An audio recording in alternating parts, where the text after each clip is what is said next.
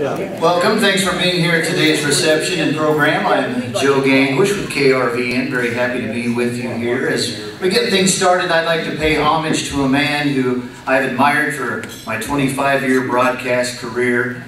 He's been a friend and a mentor, a hard worker, and a real company man. Since he can't be here, let's honor Mike LePorte for his retirement. Mike has dazzled us with his wit, charmed us with his singing voice, and amazed us with his dance moves. You can see proof of that on Facebook. But he has also been the ag voice for KRVN and the Rural Radio Network for close to 25 years. So Mike, we have a few folks here who'd like to say a few words as we celebrate your retirement with you. So up first, Terry Haney, Director of the Nebraska Lead Program. I'd probably feel more comfortable if Mike was up here with that microphone right in my face. But, uh, you know, my wife always reminds me when I go to these types of things and I'm expected to say a few words that she always says, you're not very funny, so don't try to be. And so I'm not. I'm, I've also been told I'm sometimes very serious, but, um, you know, if I knew that we were here to roast Mike today, I would have brought a bigger oven, but I don't think I'll fit in the one we've got. But I'll leave it at that. You know, on behalf of the Nebraska Lead Program, Mike LePorte has been so important um, in our program, the development of future spokespersons of Nebraska's ag industry. And, you know, I had to do a little research. Uh, way before my time, uh, Mike served two terms on the board, six years. Uh, he spent one year as the vice chairman of the board of directors of the Nebraska Ag Leadership Council, and then he spent one year as the chairman of the Nebraska Agricultural Leadership Council. So the behind the scenes work that he did was so gratefully appreciated to the generations of agriculturalists that have come since then. But I got to know Mike um, as the director of the program. He worked very hard with us uh, here in, in, over in Kearney at the University of Nebraska Kearney on our communication seminar. And he's the reason when you listen to a lead alum out there on the radio, he's the reason that they're doing so well. He's the reason that they can speak and tell the story of Nebraska's farmers and ranchers and the production practices that they use. And so anytime in the future when you hear a lead alum on the radio, just think of Mike LePorte because he's the reason for it. Um, Mike, you're going to be missed. Um, he is motivation for me that someday maybe I'll get to grow up and retire. but Mike also served as our MC of the annual banquet for a lot of years. In fact, I tried to find out how many years, and, and uh, you know, Dr. Blezik couldn't remember, and his wife Kay, who was Mike's first cousin, couldn't remember either, but he did a great job for us there. Um, he's been a great friend, not only to lead, but a great friend to me, and I wish you and your family the very best in your retirement. Have fun, enjoy those grandbabies, and may you have more of them come your way. So thank you, Mike. A job well done.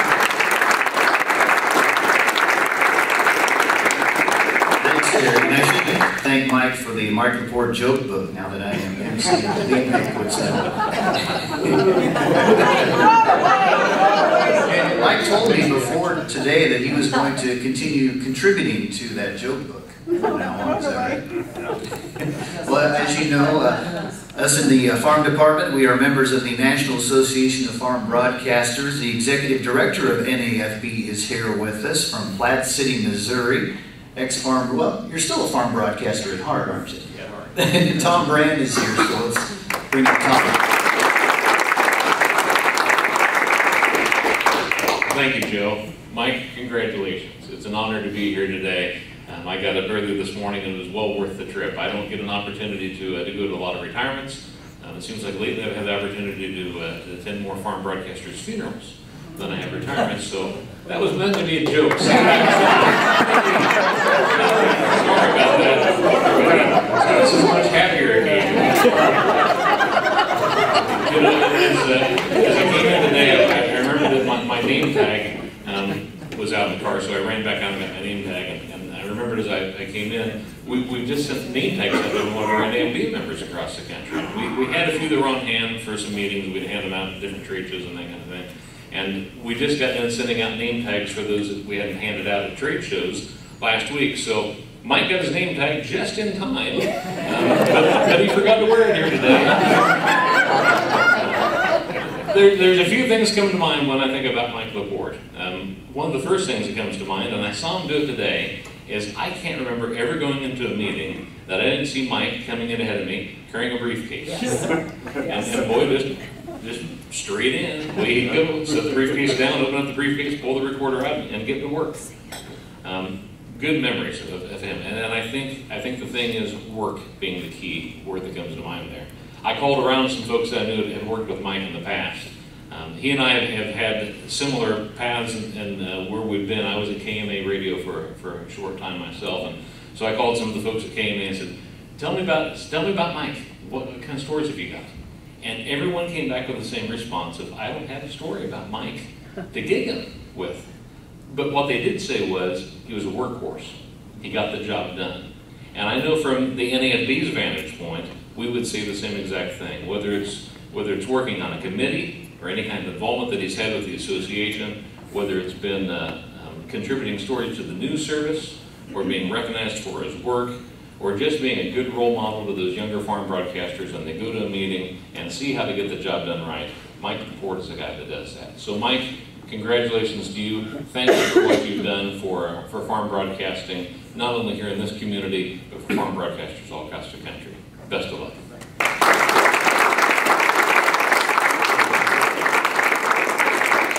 All right, thanks, Tom. Up next uh, will be Craig Head. Craig is Vice President and Issue Management for Nebraska Farm Bureau because we all know Mike has issues, so. Would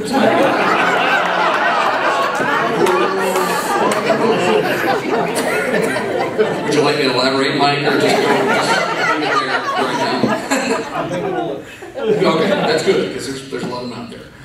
On behalf of the Nebraska Farm Bureau, Mike, I just, uh, have a Steve Nelson, Rob Robertson, the whole organization, and all of our members, thank you for everything that you've done for Nebraska agriculture. Um, you know, when you think of Michael LePorte. This, this, now, now I'm going to go off script here a little bit because you know Chad Moyer, when I walked in today, said, "Make sure you do the face for radio joke. Make sure you point out he's got the face for radio." And somebody else said, "Make sure you point out he's from Iowa. He's one of those idiots out wandering around."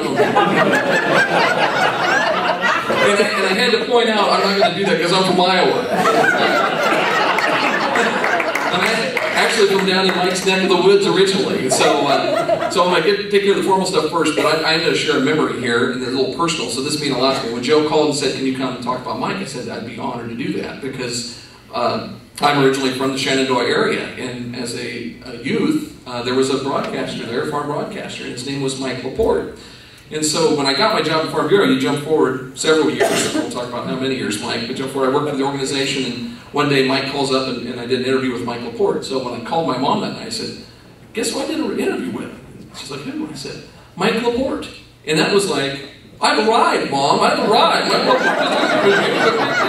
so, so on behalf of the organization and on behalf of myself, Mike, thanks for everything that you've done for agriculture. Um, icon's a big word, but I think it's appropriate in this sense. I think as I see Bryce standing out here and, and all the younger staff that uh, Rural, Radio, uh, Rural Radio Network has employed, you've set the bar very high, and uh, I think uh, they'll be trying to shoot and meet that goal. So thanks for everything, Mike. We appreciate it.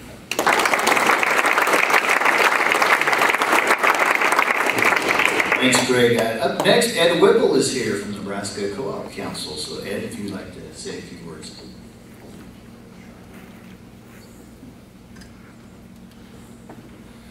Well, Mike, it, as, as other people have said, we certainly have appreciated working with you over time. And, and with, you think back to Mike's experiences growing up in rural Nebraska, or rural Iowa, excuse me, but in the rural part of the, the country in the Midwest.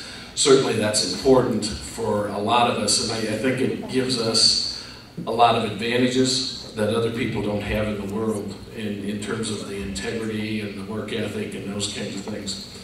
When Mike was growing up, um, and this may be a story that perhaps a lot of you haven't heard about, but as a youth, um, his parents were very uh, emphatic in terms of those character issues and so forth.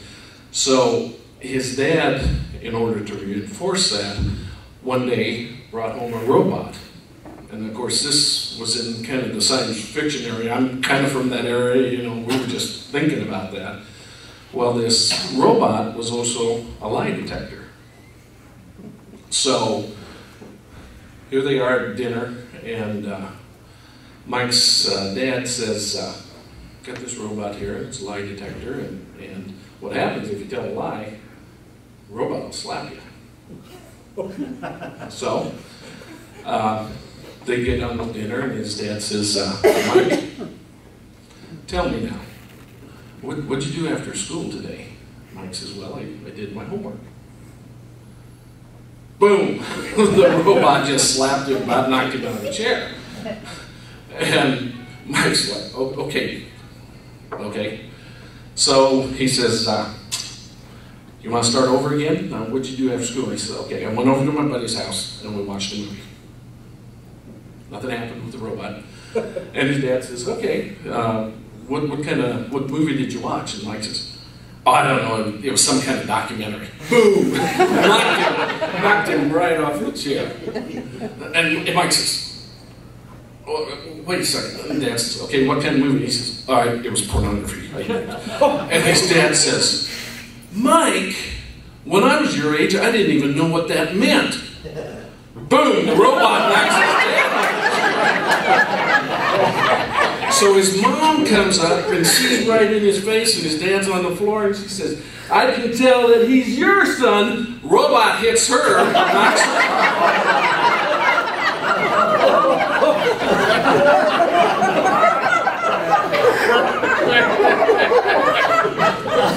Needless to say, the next morning out on the front porch, there was the robot with a sign, for sale sign on it. That's kind of the end of that issue. So, anyway, um, in all seriousness, the, that integrity that uh, has been brought to journalism and to rural uh, Nebraska, and certainly through the Rural Radio Network, uh, is is so important. And you know, one of the things that we get to do as, as part of some of the founding organizations, the Co-op Council, a lot of you have heard this, but I'll, I'll try not to bore you with it, but the Co-op Council and the Farm Bureau and Farmers Union and Grange were the originating organizations. And I, I couldn't help but think that as those people put those programs together uh, 50 years ago or more, they're probably thinking, if we have employees like this, this will be success and you've set a high bar for that. And, and as I go through, and, and particularly in the last couple of years, I know things have gone very well in terms of sales and so forth for the station. And I can't help but think those salespeople certainly are doing a wonderful job with what they do. But they're selling a product. They're not selling air. And that's a product, and that integrity and, and workhorse attitude is certainly what has, has brought that about. So we've been very fortunate to work with you on a personal level um, as we've done interviews and so forth, been so helpful, and we really appreciate that. So thanks, Mike, and enjoy your retirement.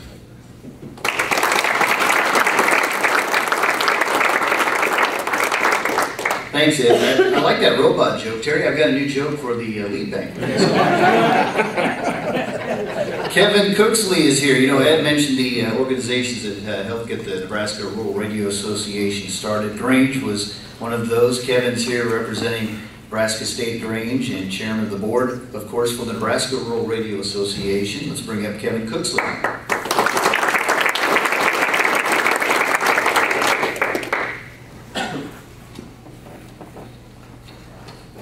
Well, with the exception of the uh, co-op council, you all need to know that I'm also a member of the Bad Joke Club.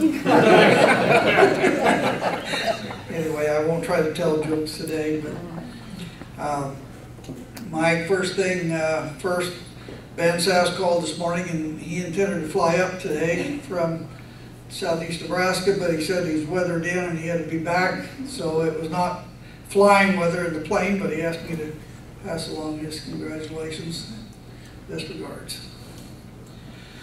So, you're a legend, you're an icon. You were actually that way even before I got to know you, and I was elected to the NRA board in 19, or 2003. It just seems like longer ago. Yeah, you are the voice of Nebraska's agriculture, Mike. Uh, There's no mistake about that. And you've been that voice, what, since 1996, when you became farm news director? Uh, His job has taken him to a lot of faraway places, from Vietnam, to Germany, Cuba, Mexico, um, and a lot of places in between. But your experience and the knowledge that you gained from all of those travels and from that job has proven to be invaluable to KRVN and to agriculture, uh, totally uh, everywhere, not just Nebraska. But I believe that that is a huge part of the reason that KRVN claims to be the number one farm station in the nation. Uh, You provided some great leadership for these young folks that are coming along, and it's been a pleasure to work with you. And uh, obviously, a lot of other folks feel the same way because of the awards you picked up along the way, uh, Nebraska Hall of Fame Achievement Award, uh, Nebraska FFA VIP Award, Distinguished Service Award from the American Soybean Association. And now you're a television personality doing Skype for NTV every morning, which I, by the way, I do catch quite often. Uh, and I think you've just proven the old adage of uh, having a face for radio. You've done good there, So thank you for making us all look good, being such an excellent ambassador for KRVN and from the Rural Radio Association. It's been a pleasure getting to know you and listening to your reports. And on behalf of the board of directors, I'd like to wish you the very best on your next leg of life's journey and take pride in knowing that you've left us better off than you found us. And that's, I think, a legacy that's to be very proud of. Vicki, thank you for sharing him with us for all of these years. And good luck with living with him at the time. I got a plan. And finally, uh, Mike, your, your legacy is in good hands with Joe. Uh, we're all going to pitch in and buy him an eyebrow lift. and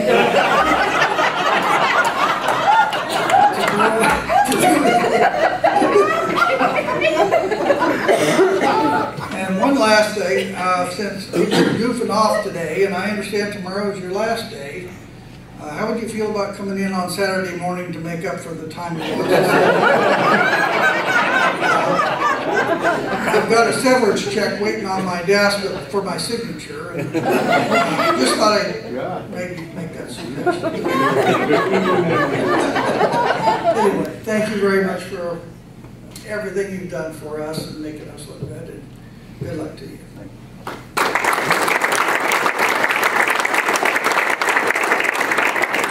Thanks, Kevin. Uh, my next guest in uh, here this, Uh, this afternoon informed me that he had a couple of stories to relate to us about Mike. So let's bring up Eric Brown, former general manager of the Nebraska Rural Radio Association.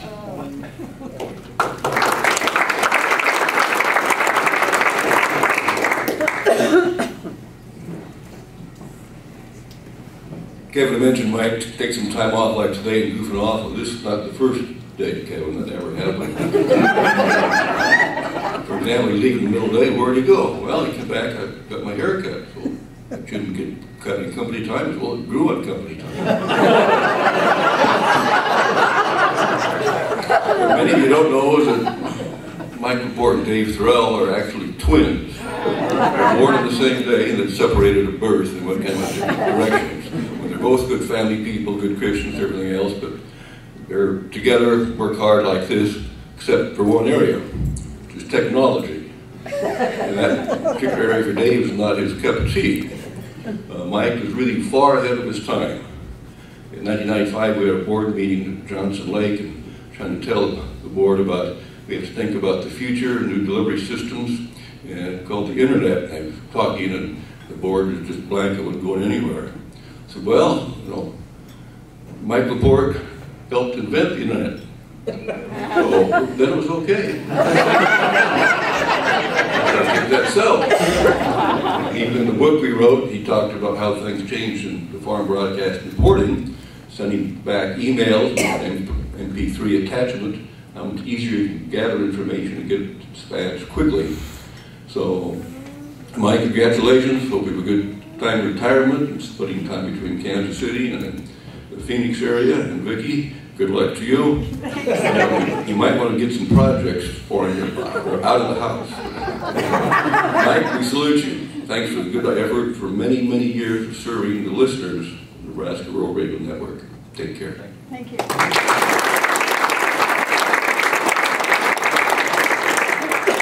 Thank you very much, Eric. Let's bring up Mike's twin, separated at birth, Mr. Dave Thorell of KRB.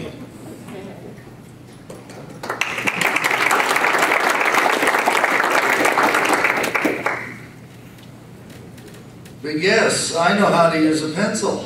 And I'll still be in business when the electricity goes off and all your neighbors are down. Thank you for being here. My memory was jogged here when somebody was speaking. We were at Husker Harvest Days, and Rich Hawkins came to my room early and knocked. He said, Say, come with me. Let's look through Mike's peephole and watch him ironing. Mike would iron his clothes when we were out on the road. That's why he looked so much better than I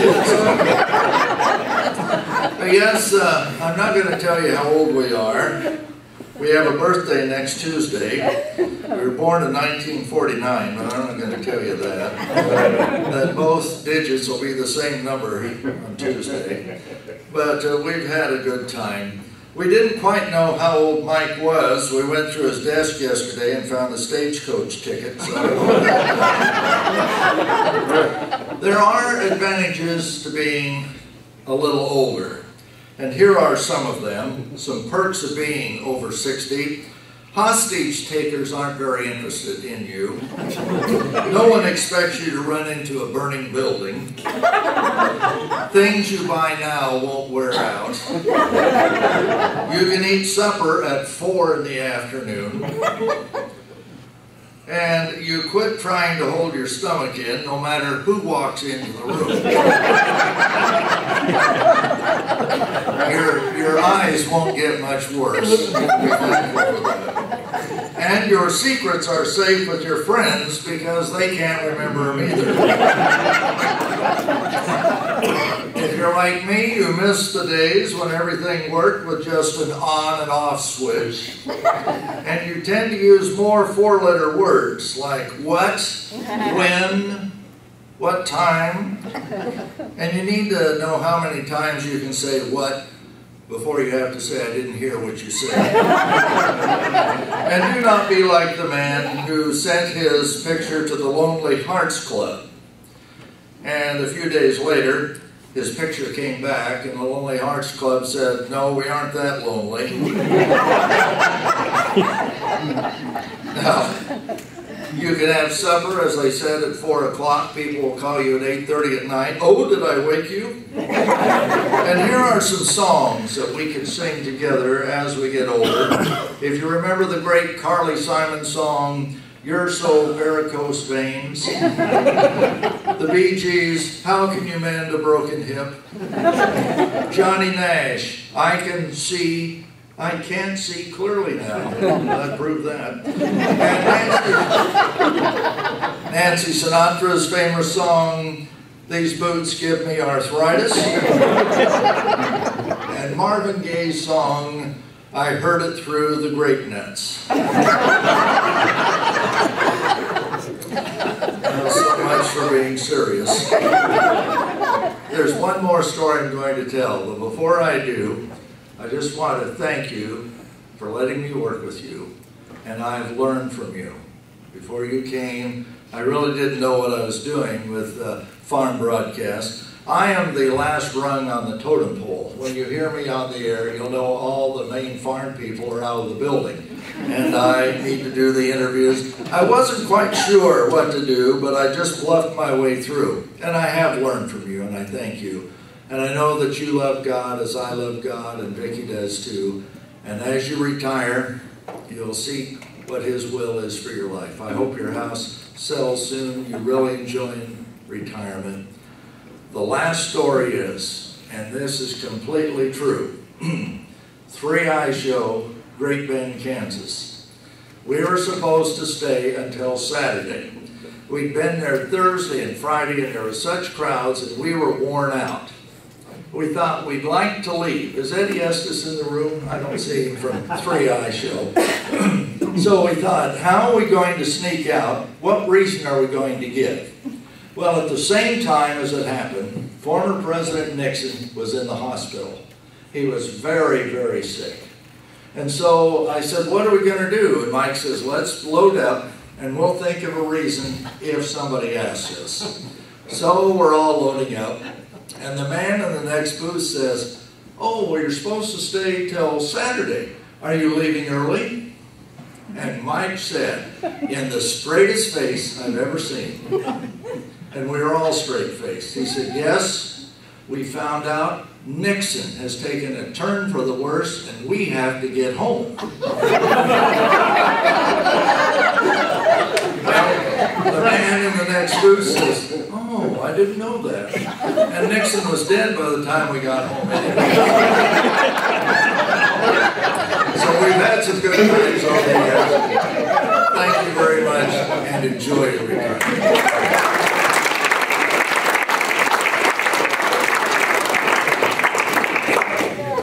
Thank you, Dave.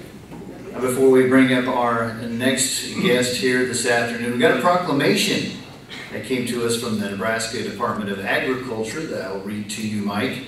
Whereas Mr. Michael LePorte has provided decades of responsible, informative, and entertaining agricultural radio reporting of great importance to the Nebraska agriculture community, and whereas the high standard of professionalism with which Mr. Michael LePorte practiced his craft created a standard of quality for other agricultural journalists to model, and whereas such reporting has contributed to the overall good of farmers, ranchers, agricultural professionals, agribusiness, and all rural residents of Nebraska, uh, now, therefore, do I, Greg Ibach, Director of the Nebraska Department of Agriculture, hereby recognize Mr. Michael, the termite LePorte, for these accomplishments and congratulate him on his retirement from KRVN Radio, Lexington, Nebraska, this 28th day of May 2015. It's signed Greg Ibach, Director, Nebraska Department of Ag. So we'll have that up here. After the program, let's bring up Craig Larson. Craig is the current general manager of the Nebraska Rural Radio Association. Craig is here to make a, or to say a few words, and then also we have a presentation for you along with Tim Marshall from KRV. Tim, why don't you come on up? Um, it's uh, almost 20 years to the day that I first met Mike LePorte. Uh, June 1st is my 20th anniversary at uh, KRVN, Nebraska Rural Radio. And, the, and Mike won't remember this, but the first day I met Mike, I told him a limerick. I heard it on the Dean Martin show in 1971, but it stuck with me when I met Mike. I said, There once was a woman named LePorte who took her husband to court.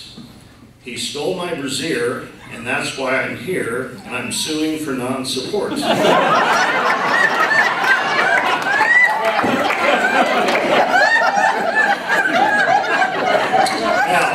I don't think that was very funny, but it's a lot funnier than anything he said.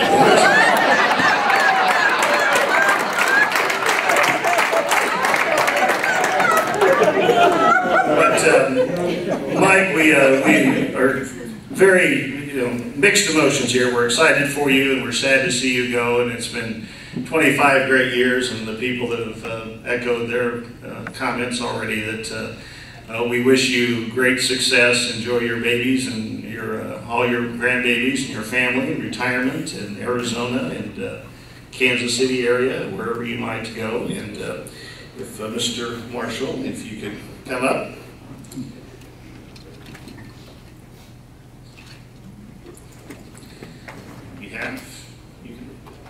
Okay. For dedicated service to Nebraska farmers and ranchers, presented to Mike LePorte, 1990 through 2015, Nebraska Rural Radio Association, KRVN AM and FM, KNEB AM and FM, and KTIC AM and FM.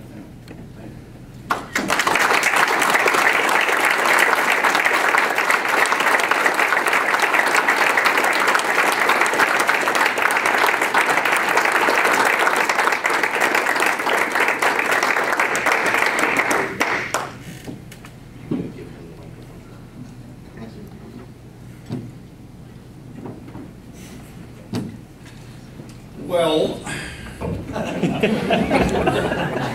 you know, know, with all the uh, stuff that's been said, it kind of goes to your head, doesn't it? Uh, and uh, maybe I'll just rethink it. Maybe I'll stay for a while. and I, I, threatened to do that once before, and they, they said, "Nah, the party's set. Uh, you know, uh, we can't can't change it." Uh, well, we, I appreciate everything that's been said uh, here, and we'll start just by giving you a, a couple of thoughts.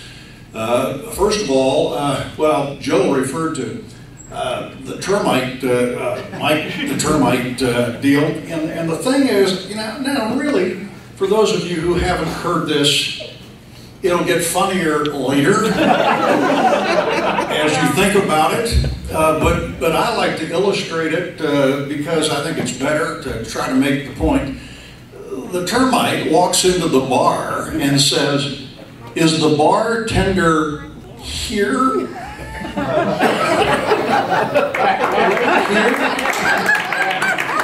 and, uh, yeah, you know, the termites eat wood, and, uh, you know, you'll get it But uh, the thing about it is, Jar, every time I tell that, it actually gets better. So uh, I'm just going to have to keep that uh, in the repertoire.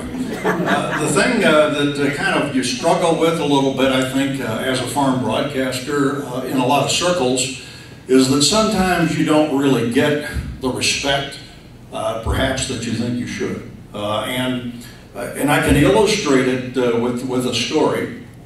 the rabbi, a Hindu priest, and a farm broadcaster were in a car together, traveling, and, and don't ask me why because I have no idea why that would ever happen, but they were. Uh, and they got caught uh, outside of town uh, in, in, kind of a, one of those unexpected spring blizzards. And there was this whiteout, and they had to stop at a farmer's house along the road because they couldn't even see to go any further. And so they knocked on the guy's door and explained their situation. And the guy says, well, yeah, come on in, but I only have room for two people. Somebody's going to have to sleep in the barn. So the Hindu priest says, no problem, I'll sleep in the barn. And out he goes. Uh, a little bit later, uh, there's a knock on the door, and it's the priest, and he says, there's a cow in the barn, and he's sacred to us, and so I can't stay in the barn. Well, the priest, uh, the, the rabbi, says, yeah, I'll do it, I'll go. And so he goes to the barn, and a little bit later, again, a knock on the door, and, and he says, well, there was a pig out there, and uh, it's, you know, not kosher, and so I can't, I can't stay in the barn. So the farm broadcaster says, okay, I'll do it, and goes and uh, is in the barn for a little bit, and there's a knock on the door, and there stands the cow and the pig. so, uh, it's a struggle. To get the respect that uh, you know you think should. But, uh, I tell you, uh, really, the truth is that uh, I came out here uh, in 1990, and it was really kind of a uh, midlife crisis for me. I was 40 years old, give or take, and kind of at that place where some people uh, examine their lives and they say, you know, have we accomplished uh, everything we want to accomplish? And uh, so at that particular time, uh, the industry was going through quite a little bit of transition. Uh, and there were different things that were happening. probably one of the bigger factors was that, you know, the many chemical companies that were out there spending money for farm broadcast time uh, kind of got displaced by uh, the uh, uh, glyphosate product, and, and, and that was one of the big items that you kind of went from, you know, eight or nine different entities that were buying national broadcast time down to, to one. Uh, changed some dynamics, and people were trying to uh, reevaluate uh, whether they even wanted to, to, stay in farm broadcasting. And so I was trying to project ahead you know, 25 years from then to say where could I go that, you know, that would have a pretty good uh, chance of still, you know, wanting to do what it is that, that I was doing. Uh, and when I had the opportunity to come here, it was a perfect fit uh, because, of course, of the fact that uh, Farmers and Ranchers own the organization. And, and one of the stated goals was to serve agriculture, so it sounded good to me.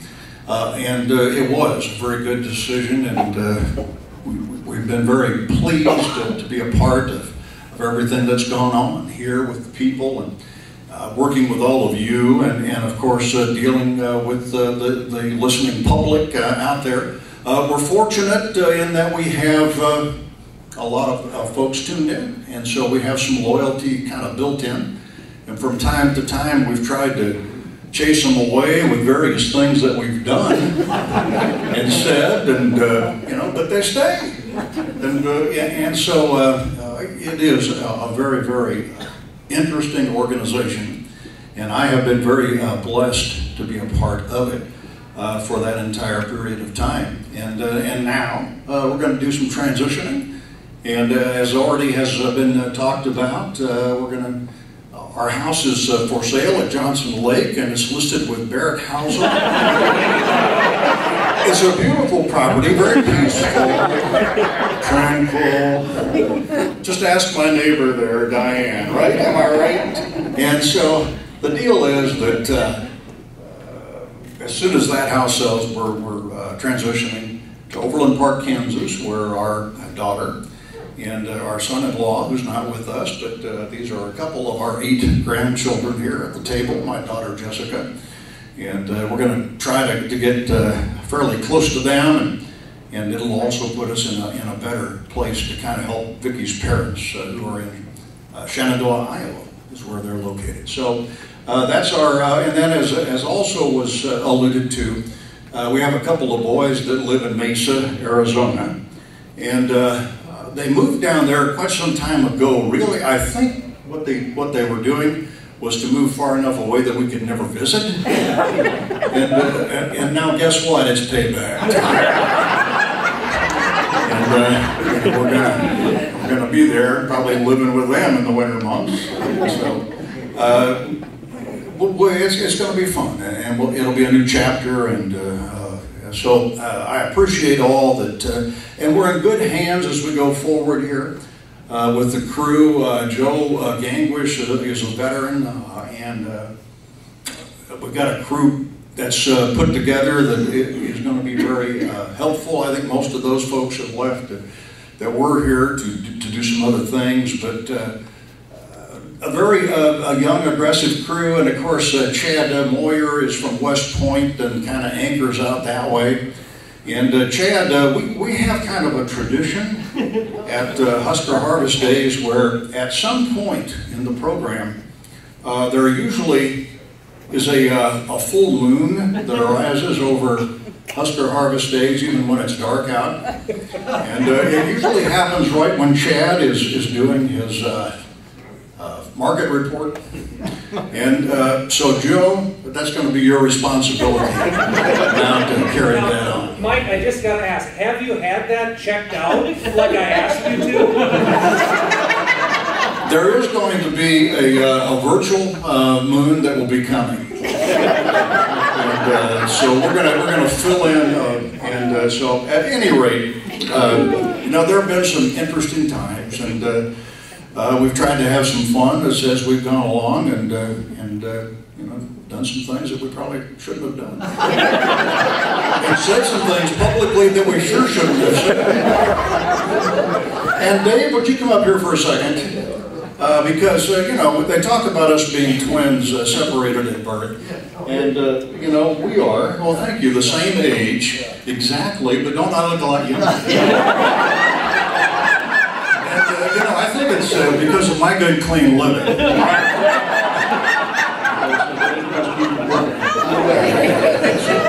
uh, but uh, and Dave, you know, here's the thing, and I, and I really believe this is true uh, to, to a degree.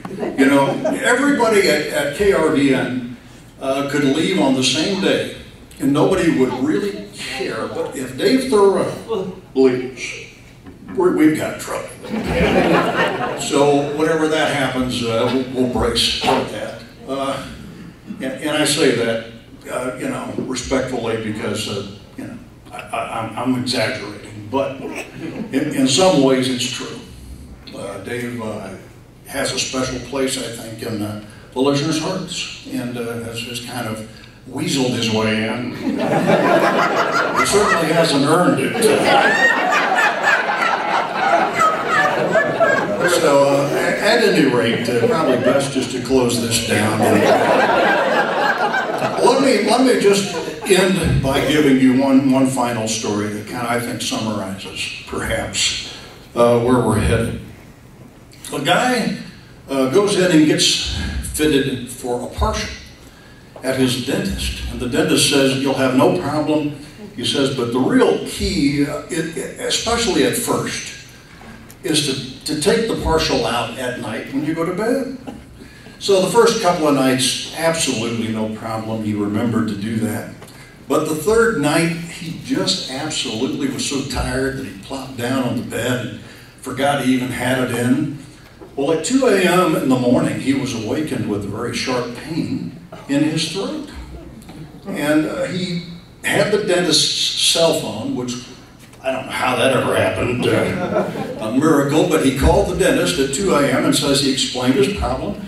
And the dentist says, You're going to have to see a throat specialist because I can't help you. That's where the pain is. And so he gave the guy uh, uh the name of a good throat specialist, and he was making that contact uh, at about the same time that the pain moved to his stomach area.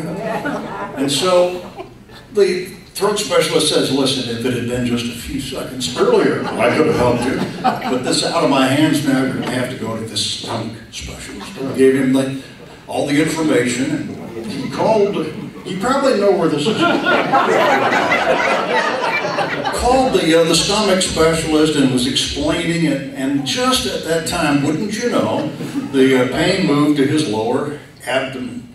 And so the stomach specialist says, well, I'll, I'll give you the name of a good rectal specialist that I know, and, and we'll get you set up. So he called the rectal specialist. He said, yep, I can see you come right in. And so they got him on the little examination table with his feet in the stirrups and his little miner's cap, you know, with a little light on it. And he was looking down there to see what the problem was. And he said, My God, man, I see teeth. You need a dentist. and the moral of that story is it all works out in the end. So, uh, you know, that's, that's where retirement's going for me. Uh, it's all going to work out. Thank you so very much.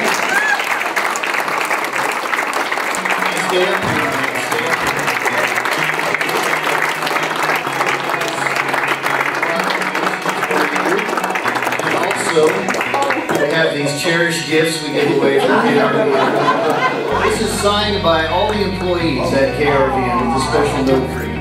Thank you, sir.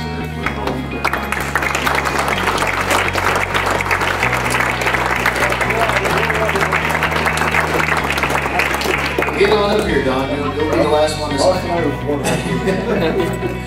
well, again, Mike, uh, we wish you the best on your retirement. Appreciate everybody being here this afternoon. Uh, you're welcome to stick around for more uh, coffee, cakes, fellowship with Mike. So thanks again for coming.